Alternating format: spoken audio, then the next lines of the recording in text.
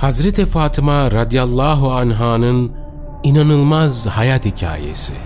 Gelmiş geçmiş bütün kadınlardan üstün olan o sahabe. Dünya üzerinde Peygamber Efendimiz aleyhissalatu vesselama en çok benzeyen kişi. Ümmetin kadınlarının en hayırlısı. Allah'ın korumasına aldığı büyük şahsiyet. Kainattaki gelmiş geçmiş en güzel insan, Hazreti Fatıma radıyallahu anha.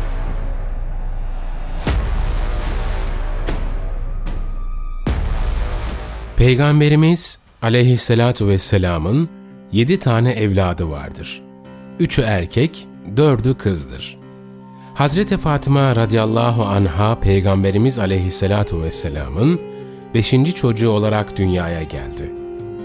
Hazreti Hatice radıyallahu anhanın bebeğe Fatıma ismini verme dileği.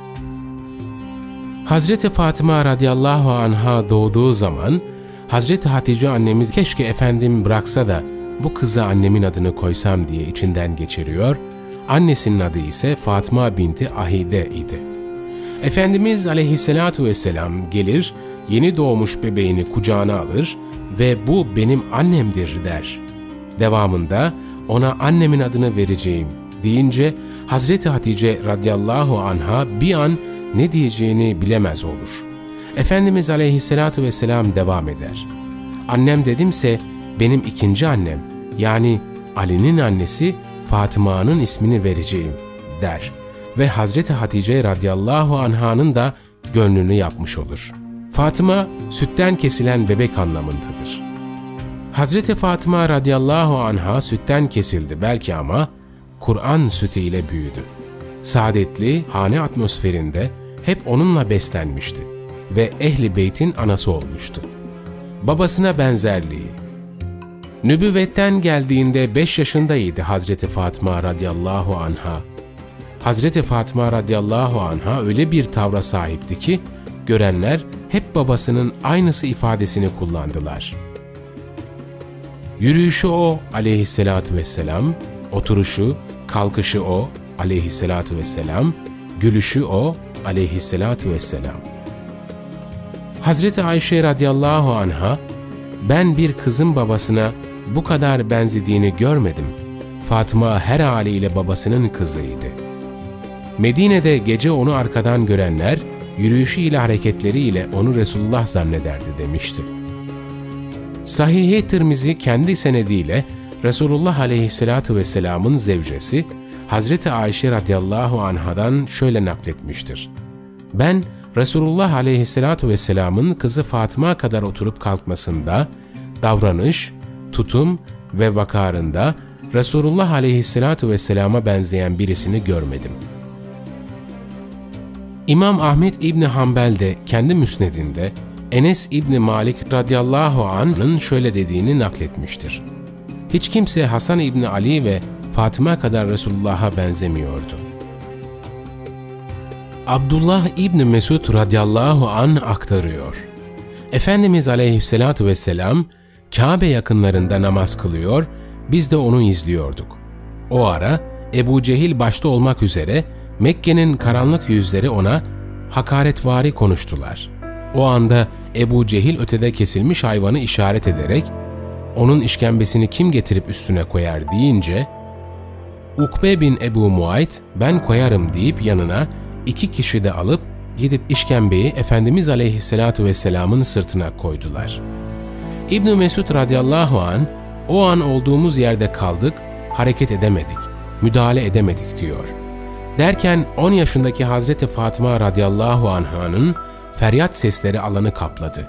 Allah'tan korkmaz adamlar, babamdan ne istiyorsunuz diyerek onlara bağırdı. Koşa koşa geldi ve babasının sırtındaki işkembeyi ittirerek üstünden düşürdü. Sonra Efendimiz aleyhissalatu vesselam namazı bitirdi ve karşılıklı ağladılar. Üzülme kızım, Allah babanı zayi etmeyecek buyurdu.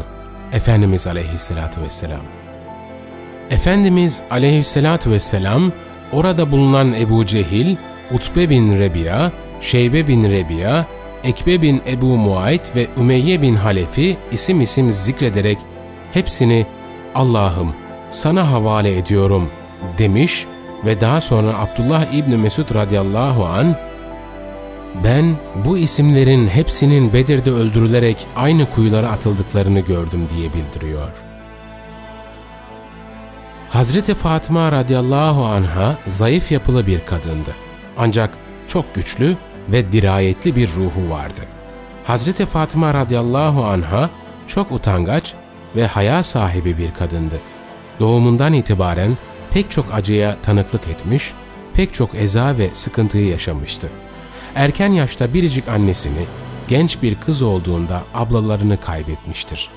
Hazreti Fatıma radıyallahu anha, çocukluğunda yaşadığı bu yorucu ve zor hayata rağmen, Kureyşli diğer kız çocukları gibi öğrenmesi gerekenleri öğrendi, ev işlerinde kimseye ihtiyaç duymayacak kadar becerikli biri oldu. Çocukken kendisine soru sorulmadan konuşmayan, kendisini ilgilendirmeyen şeylere karışmayan bir kız olmasına rağmen, bizzat babasından dinlediği Kur'an'ın hükümlerini, emirleri ve yasaklarını çok iyi öğrendi. Aynı zamanda düzgün ve akıcı konuşması ile her zaman dikkat çekti. Hazreti Fatıma radıyallahu anh'ın fazileti Yine tarihi Bağdat'ta Hatip kendi senediyle İbn Abbas'tan Resulullah aleyhissalatu vesselamın şöyle buyurduğunu naklediyor. Kızım Fatıma, Hazreti Adem soyundan bir huridir. Ne hayız olur ve ne de nifas. Onun Fatıma kesilmiş ayrılmış diye adlandırılması, Allah'ın onu ve dostlarını ateşten, cehennemden kestiği, ayırdığı içindir.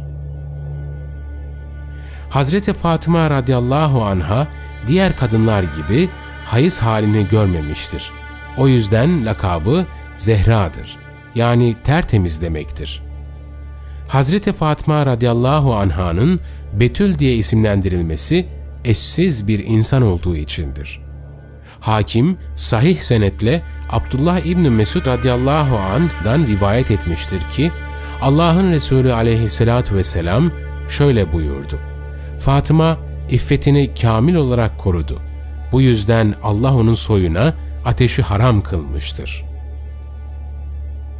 Muttaki Kenzul Umul'da Resulullah aleyhissalatu vesselamın şöyle buyurduğunu rivayet etmiştir.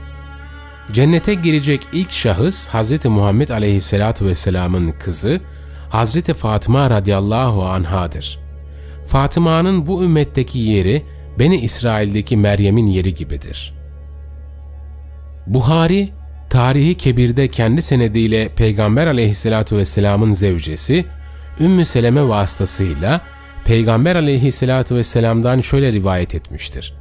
Mehdi haktır ve Fatıma'nın evlatlarındandır. Fatıma'nın evlatlarının soyundandır. Efendimiz aleyhissalatu vesselam bir gün elindeki sopa ile yere dört adet çizgi çizer. Bunlar neyi temsil ediyor bilir misiniz diye yanındaki ashabına sorar ve açıklar. Bunların her birisi hanımlar sınıfının dört sultanını temsil eder. Firavun'un eşi Asiye, Hz. İsa aleyhisselamın annesi Hz. Meryem Hz. Hatice ve kızım Hz. Fatıma. Hz. Ali ile evliliği, yaş 20, Hicri 2. Efendimiz aleyhissalatu vesselam ile akraba olmak için Hz. Ebu Bekir radıyallahu an, Hz. Ömer radıyallahu an, Abdurrahman İbni Avf radıyallahu an gibi zatlar da istiyorlar ama Efendimiz aleyhissalatu vesselam başka bir plana sahiptir. Sonra Hz. Ali radıyallahu anh gelir. İster, Efendimiz aleyhissalatu vesselam Hz. Fatıma radıyallahu anh'a sorar ve onların evlenmesine müsaade eder. Hz. Fatıma radıyallahu anh'ın mehri için Hz. Ali radıyallahu an kendi miğferini satlığa çıkarıyor ve satıyor. Daha sonra o miğferi satın alan Hz. Osman radıyallahu an miğferi tekrar Hz. Ali radıyallahu anha evlilik hediyesi olarak verecektir. Üç minder, hurma lifi ile dolu bir yastık, saçaklı bir halı, iki el değirmeni, bir su tulumu, topraktan yapılmış bir su testisi, meşinden yapılmış bir su bardağı, bir elek, havlu, yatak için bir koç postu, Yemen işlemeli bir kilim, Yemen işlemeli bir elbise, kadife bir örtü. Hepsi bu. Peygamber kızının çeyizi. Onların yorganları öyleydi ki yüzlerine çektiklerinde ayakları boşta kalıyordu. Hazreti Ali radıyallahu anh'ın düğünde yemek dağıtma imkanı olmayınca Sa'd bin Ubade radıyallahu anh devreye girer ve yemeği organize etmiştir. Hazreti Fatıma radıyallahu anha 5 yıl Hazreti Hatice radıyallahu anh'ın evinde, 13 yıl Mekke'de Peygamber aleyhissalatu vesselam ile, 2 yıl Medine'de Peygamberimiz aleyhissalatu vesselam ile, 8 yılda Hazreti Ali radıyallahu anh ile beraber yaşadı. Bu 8 yılın 2 senesini Fatma binti Esed radıyallahu anhaya da bakarak geçirmiştir. Hazreti Fatma radıyallahu anha, Hazreti Ali radıyallahu anh ile evlendiğinde, kayınvalidesi Fatma binti Esed radıyallahu anha da onlarla birlikte yaşadı. Ebu Talib'in eşi Fatıma önce Hazreti Peygamber aleyhissalatu vesselama annelik ettiği gibi daha sonra da onun kızına annelik etti. Gelini olan Hazreti Fatıma radıyallahu anhaya her zaman şefkat ve merhametle yaklaştı. Hazreti Ali radıyallahu an annesi ve eşi arasındaki ilişkiyi, zekası ve adaleti ile çok iyi idare etti. Onların ev işlerini bizzat kendisi düzenledi. Nitekim Hazreti Ali radıyallahu an annesine sen su taşıma gibi dış işleri yap, Fatıma da un öğütme, hamur yapma gibi iç işleri yapsın diyerek ev işlerinde çıkabilecek anlaşmazsızlıkların önüne geçmiş oldu. Her evli çifte olabilen anlaşmazsızlıklar bazen Hazreti Ali radıyallahu an ve Hazreti Fatıma radıyallahu anha arasında da olabilmekteydi.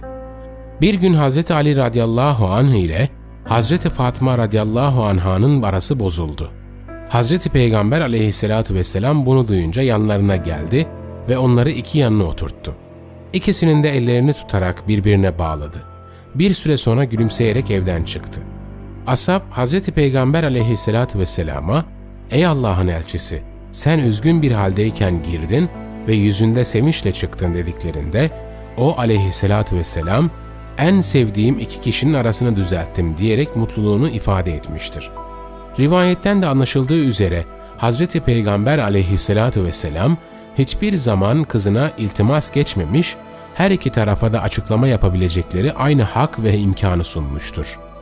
Hazreti Ali radıyallahu anh ile Hazreti Fatma radıyallahu anh'ın evliliğinden beş çocuk dünyaya gelmiştir. Bu çocukların isimleri Hasan, Hüseyin, Muhassin, Ümmü Gülsüm ve Zeynep'tir. Efendimiz aleyhissalatu vesselam herkesin soyu erkek evlatlarından devam ederken benim soyum Fatıma'dan devam edecektir buyurmuştur. Ve bir aba altında topladığı Hz. Ali radıyallahu an, Fatıma radıyallahu anha, Hasan radıyallahu an ve Hüseyin radıyallahu anh için yaptığı dua ile buna işaret etmiştir. Hicretin 3. yılı 21 yaşındadır. Uhud'a gidilen 15 kadın sahabeden birisi de Hazreti Fatıma radıyallahu anha annemizdir. Resulullah öldü haberi yayılmaya başlayınca Hazreti Fatıma radıyallahu anha duramaz, koşup gidip babasını buluyor, buluyor ama mübarek yüzleri yara bere içerisinde. Koş Ali bana temiz su getir diyor eşine. Babasının mübarek yüzünü siliyor, kanıyor, siliyor, kanıyor. Kanama devam edince hasır yakıp onun külleriyle pansuman yapıyor. Ve devamında bir an olsun tedavisini bırakmamış, bir ay boyunca bizzat babasının tedavisini takip etmiştir. Bu zamanlarda Hz. Ali radıyallahu anh'a pek sert tavır ve bakışları oluyor, sen benim babamı nasıl koruyamazsın ki kanlar yaralar içinde kaldı der gibi bakışlarını sezince Efendimiz aleyhissalatü vesselam buyuruyor. Ali gördün mü? Abdullah bin Cahş'ı gördün mü? Ebu Dücane'yi gördün mü? Haris bin Simme'yi ne güzel kahramanca savaştılar. Aynı senin gibi savaştılar deyince Hz. Fatıma radıyallahu anha rahatlar ve bakışlarını Hz. Ali radıyallahu anha karşı değiştirir.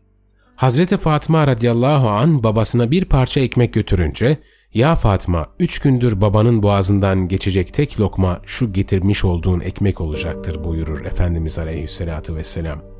Anlıyoruz ki zor zamanları hep beraber geçirmişler.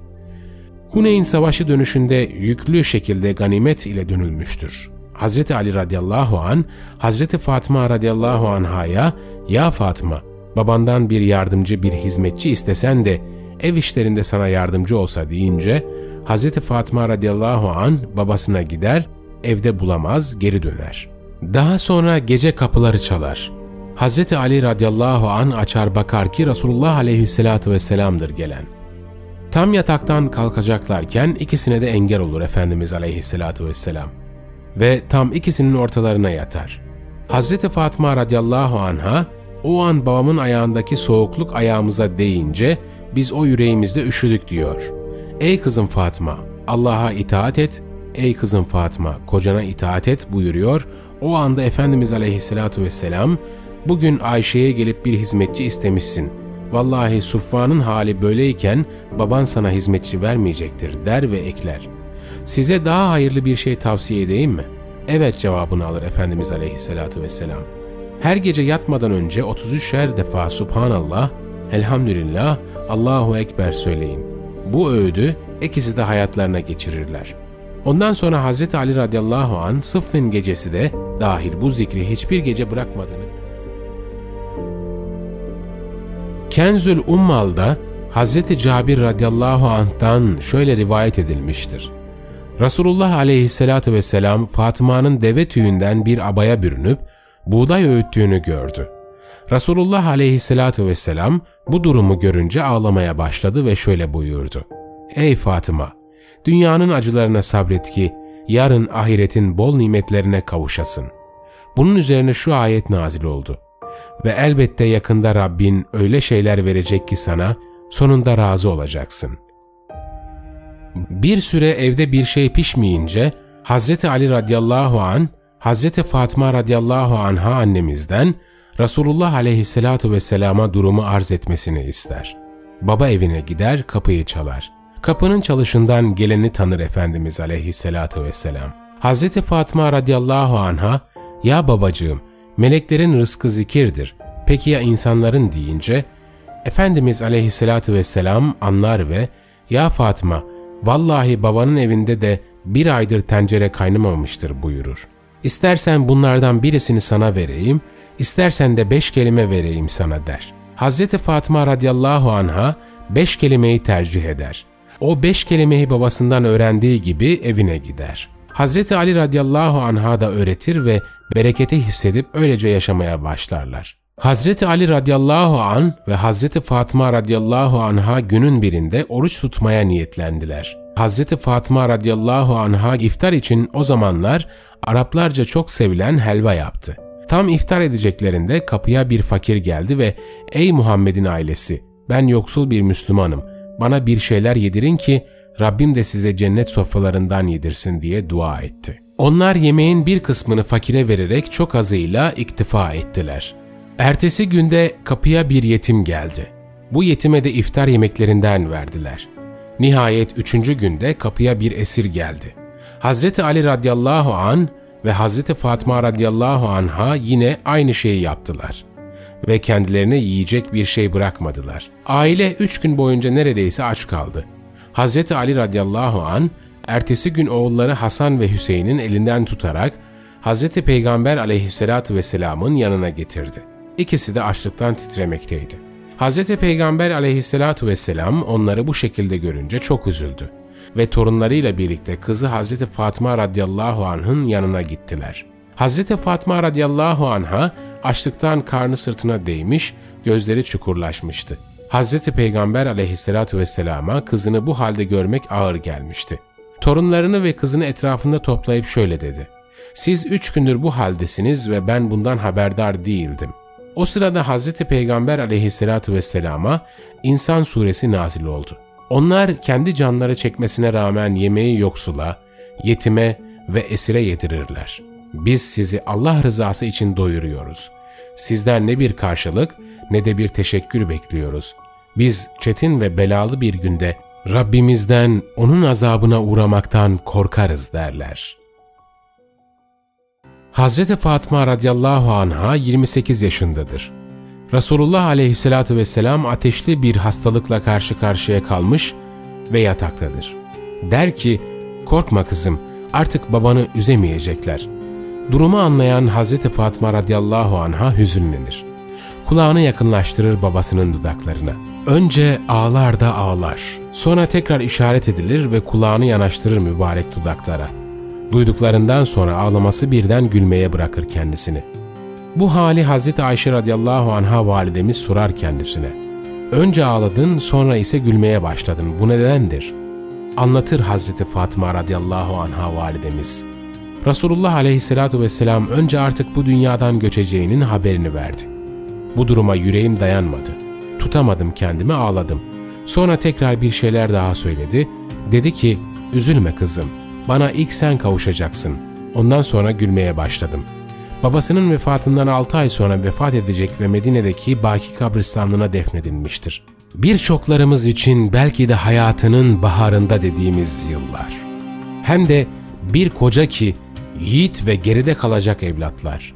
Ama ne önemi var? İman öyle bir iman ki Resulullah aleyhissalatu vesselam ile olduktan sonra ne önemi var? Hepsinin bir sahibi Celle Celaluhu yok muydu zaten?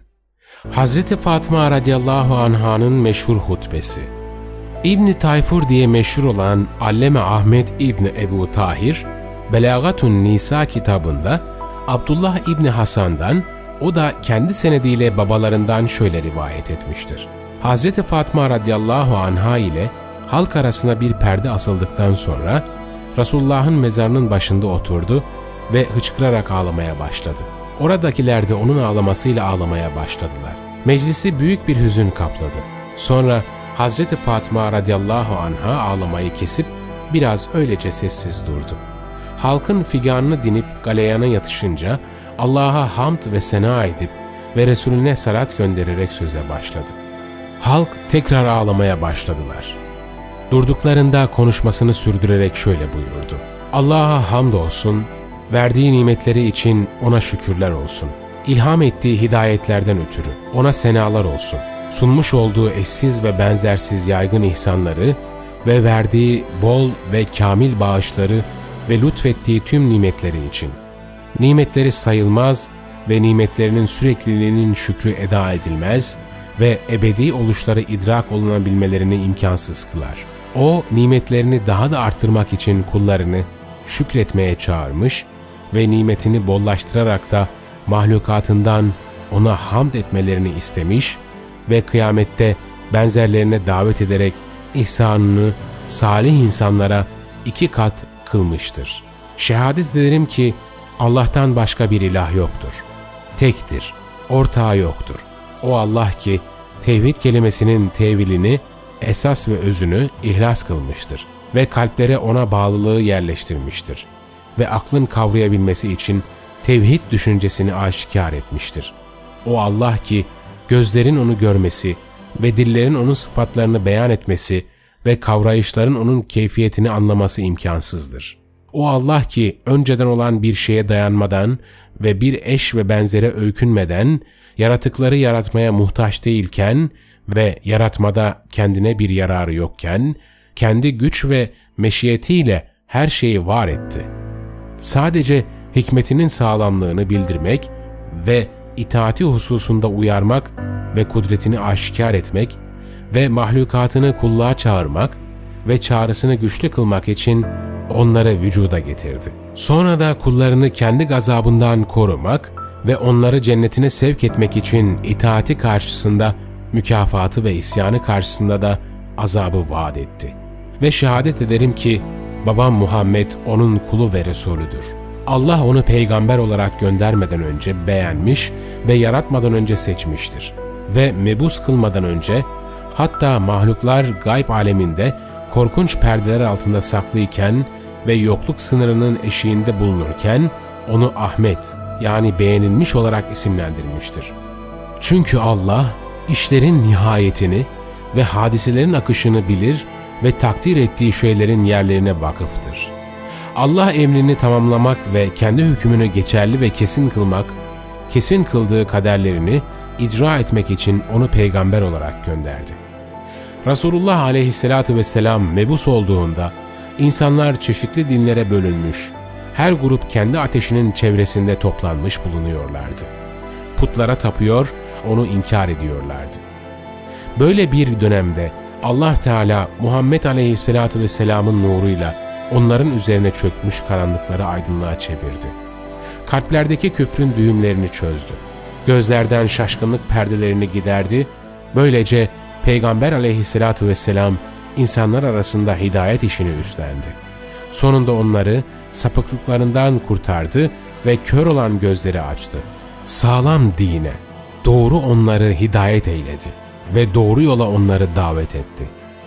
Bunlardan sonra Allah, peygamberinin kendi istek ve rağbetiyle onu bu dünyadan alıp kendisine doğru götürdü.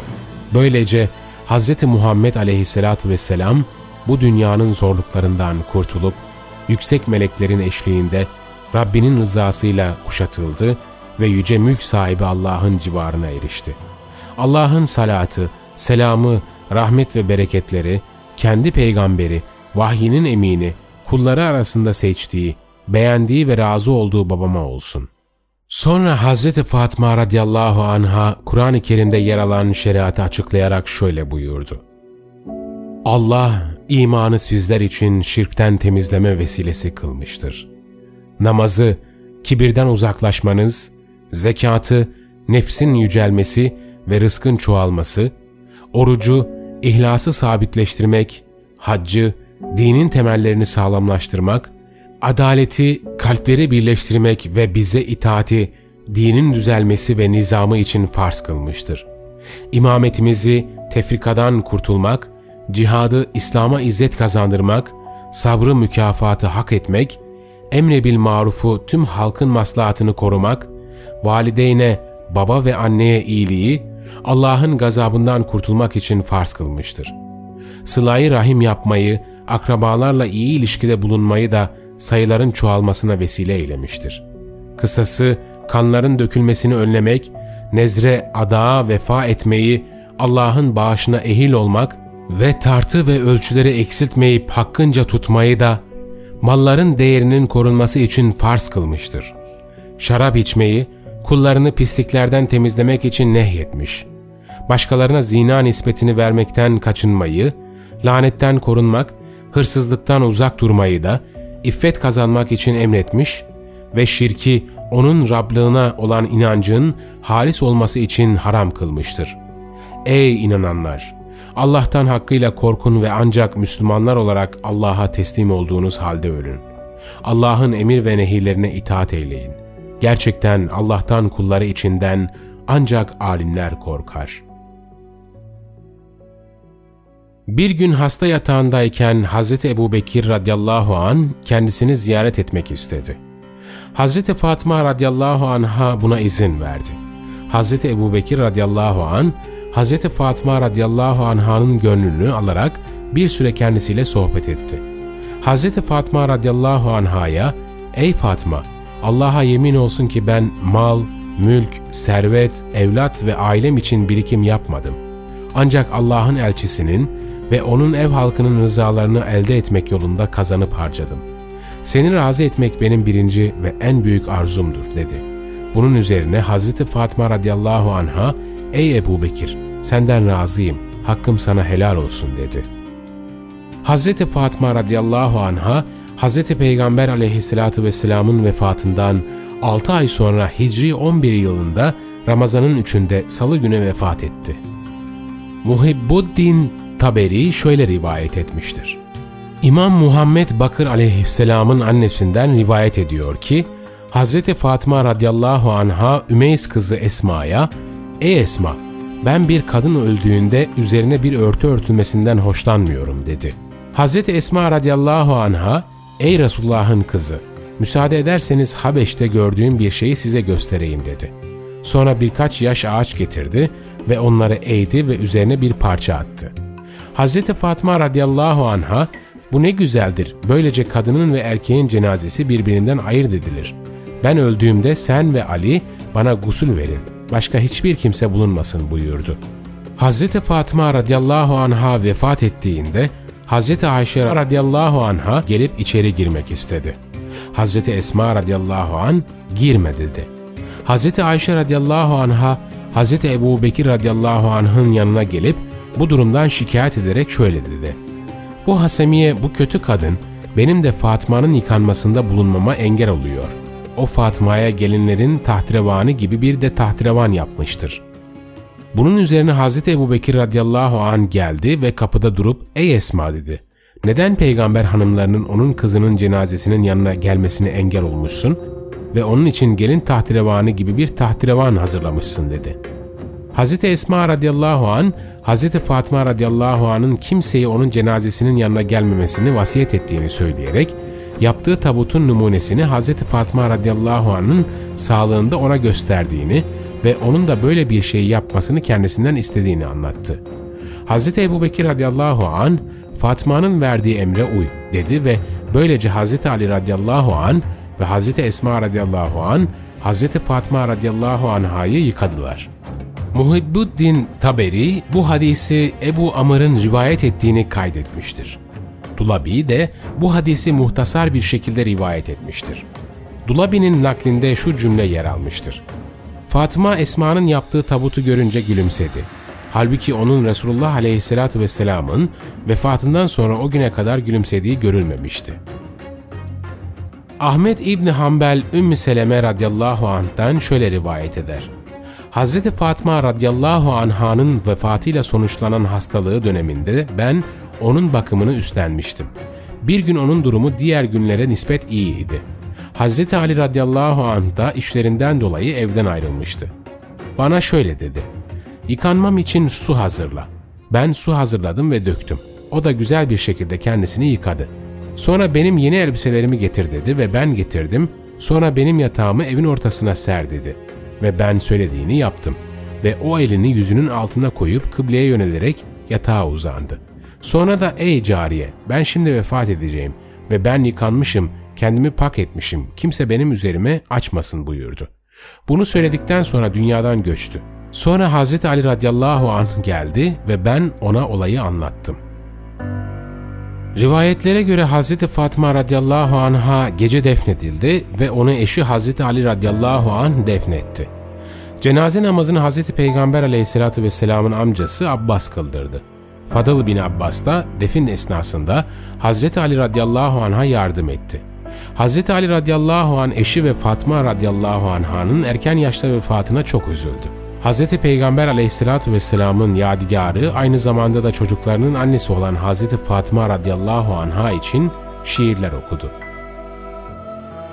İşte böyle şuurlu bir hayatı geride bırakan Hz. Fatıma radıyallahu anhadan bizlere çok şeyler öğrenmeye gün be gün daha çok muhtacız.''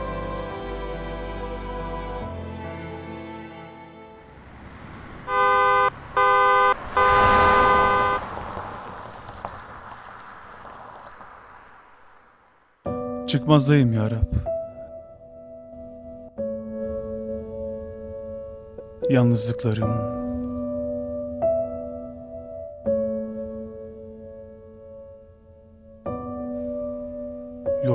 yorgunluklarım,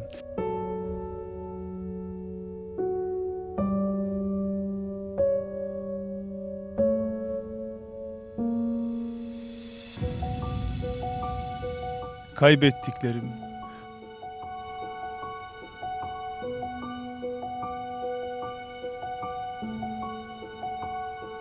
Kalbimi acıtan, hayatımı zindana çeviren ne varsa hepsini aldım, geldim huzuruna.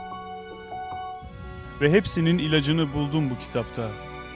Kalbimin yaralarını sarıp huzur veren şu iki zikir. Ya Baki, entel baki. Ya Baki, entel baki.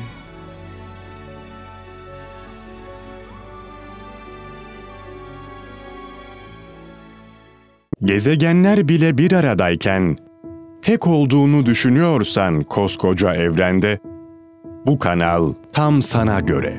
Bu video YouTube kazanında kaybolmadan, senin gibi başkalarına da ulaşabilmesi için desteğe ihtiyacı var. Her abone, bir kırgın yüreğe daha ulaşmayı sağlayacak. Beğen, abone ol ve yorum yapmayı da unutma.